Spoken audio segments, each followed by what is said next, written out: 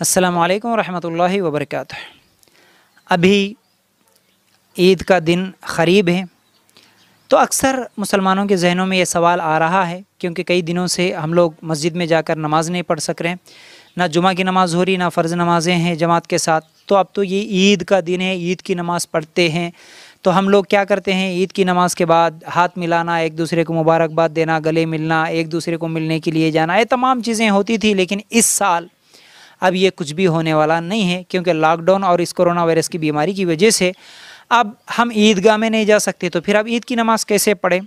याद रखिए, ईद की नमाज़ सुन्नत मक्दा है और ईद की नमाज़ अगर ख़ज़ा हो जाए, अगर यानी कोई देर से आए तो उसके लिए भी ईद की नमाज़ पढ़ना है। वो अपने घर में भी नमाज़ पढ़ सकता है। सही बुखारी की रिवायत के मुताबिक क्या है? ईद की नमाज़ पढ़ना ज़रूरी है, क्योंकि ये सुन्नत मक्दा है।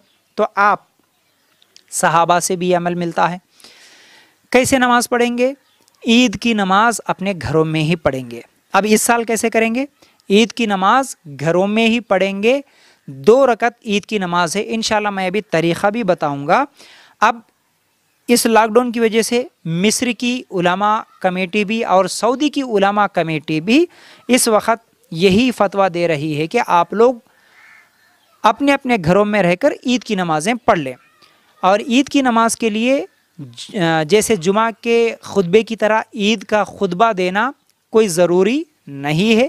और ख़ुतबा भी, जुमा का खुतबा भी सिर्फ़ मस्जिद में ही होगा, घरों में भी जुमा का खुतबा नहीं दे सकते, ये उलमा का फतावा है। तो अब ईद की नमाज़ के लिए भी आप लोग खुतबा देने की कोई ज़रूरत नहीं है, सिर्फ़ दो रकात नमाज़ पढ़ेंगे। और इस दो रकात नमाज़ को आप लोग जहरी खिरत के साथ, यानी ऊँची आवाज़ में खिरत करेंगे। अब ये ईद की नमाज़ का वक्त कब से है और ये कैसे पढ़ेंगे? सूरज निकलने के 20 मिनट या 30 मिनट, आधा घंटे के बाद अल्लाह के रसूल सल्लल्लाहु अलैहि वसल्लम के ज़माने में ईद की नमाज़ पढ़ी जाती थी। हमारे यहाँ तो बहुत ज़्यादा देर से पढ़ी जाती है, ऐसा नहीं होना चाहिए। सुन्नत यही है, सही तरीक़ा ये है कि जल्द से जल्द और जवाल से पहले पहले ही इस नमाज़ को अदा कर लेना चाहिए। अब ईद की नमाज़ कैसे पढ़ेंगे? याद रख लीजिए, ईद की नमाज़ हम लोग इस वक्त घर में पढ़ेंगे, दो रकत पढ़ेंगे। ईद की नमाज़ के लिए खुतबा देने की ज़रूरत नहीं है और ईद की नमाज़ फजर के बाद जल्द से जल्द, यानी सूरज निकलने के 20 मिनट या आधा घंटे के अंदर अंदर ही हम लोग ईद की नमाज़ पढ़ेंगे। तो यही बेहतर है क्योंकि अल्लाह के रसूल सल्लल्लाहु अलैहि वसल्लम और सहाबा के ज़माने में आ, इसी तरह जल्दी नमाज़ अदा की जाती थी। बहुत ज़्यादा ताखिर ना करें। अब ईद की नमाज़ के लिए खुतबा तो नहीं है तो फिर हर आदमी अपने अपने घर में ही ईद की नमाज़ पढ़ लेगा। कैसे?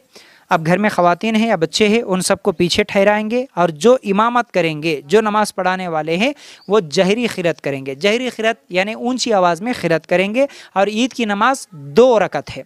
और ये नमाज़ के लिए नीयत ज़ुबान से बोलना किसी भी सुन हदीस से साबित नहीं है। और कौन सी भी नमाज़ के लिए ये जो नीयत के अल्फाज कहे जाते हैं, ये सुन्नत से साबित नहीं है, किसी हदीस से साबित नहीं है। दो रकात नमाज़ पढ़ता हूँ, वास्ते अल्लाह के मुँह मेरा काबे शरीफ के इस तरह जो कुछ भी बोलते हैं ना, ये किसी भी नमाज़ के लिए नहीं है। नीयत सिर्फ़ दिल के इरादे का नाम है। दिल में हम लोगों ने जो इरादा कर लिया है, वही हमारी नीयत है। ज़ुबान से सिर्फ़ अल्लाह अकबर बोलेंगे। अब इसका तरीक़ा क्या होगा? ईद की नमाज़ क्योंकि आज तक सिवाय इमाम साहब के हमारे माहौल माशरे में कभी कोई दूसरे नमाज़ नहीं पढ़े तो इसके लिए आप टेंशन लेने की ज़रूरत नहीं है, ज़्यादा घबराने की ज़रूरत नहीं है। ईद की नमाज़ कहते भाई, कैसा पढ़ाते कि क्या है कि आज तक कभी पढ़े नहीं, हमारे को मालूम नहीं, इसमें तकबीरत ज़्यादा बोलना रहता, वो कैसा गलती गए तो कैसा गलत होता हूँगा इस तरह ये टेंशन लेने की कोई ज़रूरत नहीं है। मैं इंशाल्लाह आसान तरीक़ा आपको बताऊँगा।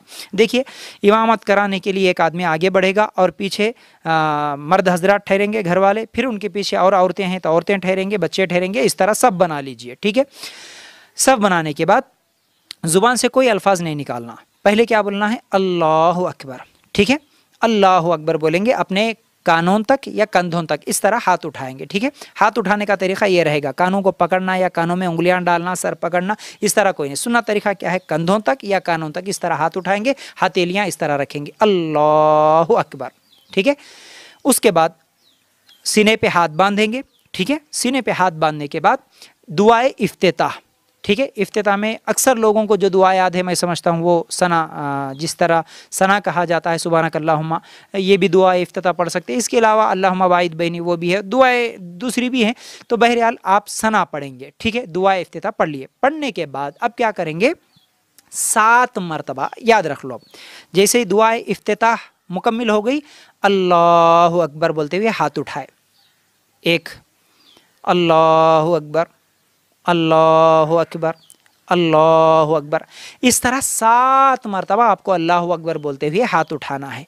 जब सातवीं मरतबा, सात मरतबा हो गया मुकम्मल, अब क्या करेंगे? वैसे ही हाथ बांधकर आउज़बिल्लिमिनशैतरजीम बसमीम पढ़ने के बाद सुर फातिहा, अल्हम्दुलिल्लाह रब्बिल आलमीन पढ़ेंगे। फिर उसके बाद आपको जो सूरत आती है वो, अलम तारा ही आता है तो सिर्फ़ अलम तारा, इन्ना तैनात इन्ना तैना, या सब हिस्मा रबी कल आला। इस तरह आपको जो सूरत आती है वो सुर फातिहा, उसके बाद दूसरा सुरा पढ़ेंगे, जहरी खिरत, यानी ऊँची आवाज़ में पढ़ेंगे। उसके बाद अल्लाह अकबर कहते हुए रफ़े दिन करते हुए आप रुकू करेंगे, फिर समी अल्लाहमन हमिदा कहते हुए उठेंगे रफ़े दिन करते हुए, फिर सजदा, जैसे आम तौर पर आप नमाज़ में सजदा करते हैं, फिर उसमें सुबह रबी आला पढ़ते हैं, रुकू में सुबह रबी अजीम पढ़ते हैं, वैसे ही पूरा दो सजदे हो गए, एक रुकू, दो सजदे। फिर दो सजदों के बाद जैसे ही आप खड़े होंगे, अल्लाह अकबर बोलकर अब आपको क्या करना है? फिर पाँच मरतबा, जैसे पहली तकबीर के बाद सात मरतबा, अल्लाह अकबर बोल के तकबीर बोले, अब पाँच मरतबा। सजदे से उठते ही अल्लाह अकबर अल्लाह अकबर अल्लाह अकबर, इस तरह पाँच मरतबा अल्लाह अकबर बोलेंगे।